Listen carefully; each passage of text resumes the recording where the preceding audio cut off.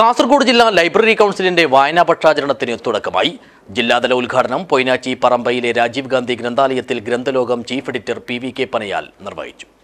This news sponsored by Sreekrishna hardware M G road Kasaragod. Phone zero four double nine four two three zero six four five zero four double nine four double two three eight two one P N പണിക്കരുടെ ചരമദിനമായ June പത്തൊൻപത് മുതൽ I V ദാസിന്റെ ജന്മദിനമായ July ഏഴ് വരെയാണ് Kerala state library കൗൺസിലിന്റെ നിർദ്ദേശപ്രകാരം എല്ലാ അംഗീകൃത ഗ്രന്ഥശാലകളിലും വായനാപക്ഷം വൈവിധ്യമാർന്ന പരിപാടികളോടെ ആചരിക്കുന്നത്.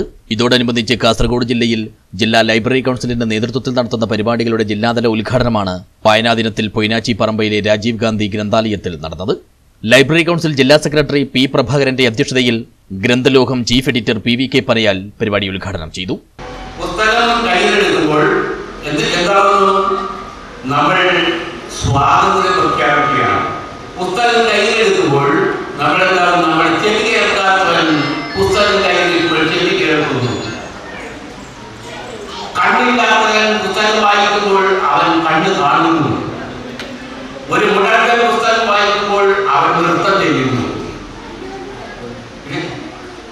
എന്താണ് വായിക്കുമ്പോൾ നമ്മൾ നമ്മെ വിട്ടിട്ട് മറ്റൊന്നിലേക്ക് പോവുകയാണ് മറ്റൊന്നിലേക്ക് വിക്ടർ യുഗോവിന്റെ പാവങ്ങൾ വായിക്കുമ്പോൾ ജീൻബാഗിനെ കുറിച്ച് വായിക്കുമ്പോൾ നമ്മൾ നമ്മുടെ പണിയാന്റെ കുഞ്ഞിക്കടയിൽ പോയിട്ട് ഞാൻ ഒരു ജീൻബാഗിനായിട്ട് മാറും ഞാൻ വേറൊരാളായിട്ട് മാറുന്നു.